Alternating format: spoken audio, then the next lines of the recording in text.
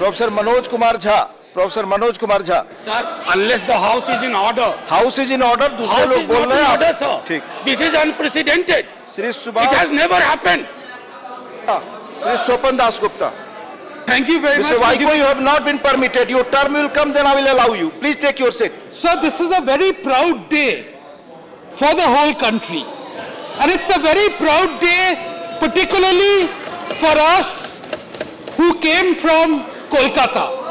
Because the movement for the re for the abolition of 370 was begun by the local MP for Kolkata South, Dr. Shyama Prasad Mukherjee in 1953. So it's a very, very proud day. It's a very proud day because in future we will not have bills which will have the clause which says this will not be applicable to the state of Jammu and Kashmir. Sir, only the other day we in this house passed what is called the triple talaq bill.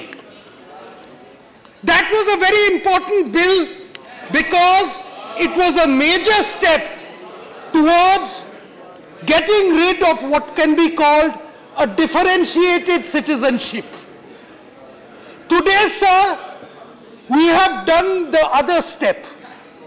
We have made all citizens of this country equal. That equality was not there. But it is far more important that we have established the sovereignty of the Indian Parliament to the whole of India. So how momentous and with what political will this needed is something I wish to compliment both the Prime Minister as well as the Home Minister for this. This is a momentous step, sir. It is a step which really once again brings the country together. Sir, in the 19, in 15th August 1947, Pandit Nehru gave a very good speech, which we call the Tryst with Destiny speech. One of the statements there, one of the phrases there he used was the soul of a nation long suppressed finds expression. Sir, that expression was not fully met on 15th August 1947. Today, I believe we have taken a giant step towards redeeming that pledge. And I think, sir, it is unfortunate that it has been marred by some ugly scenes. Oh, The one question which I want to ask the Home Minister, or two questions, which is by way of a clarification.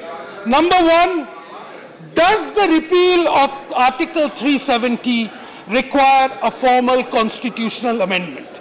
I think he, he needs to clarify it explicitly. I may know the answer personally, but I think the country would like to know that. Number two, sir, at present, the status of Jammu and Kashmir becomes that of a union territory. I think, sir, it would be in the fitting nature of things if an assurance can be given that this is only transitional and in due course, Jammu and Kashmir will become a full-fledged state and join other parts of the Union of India in the equal status. I think these are the two. Thank you very much for giving me the opportunity on this day.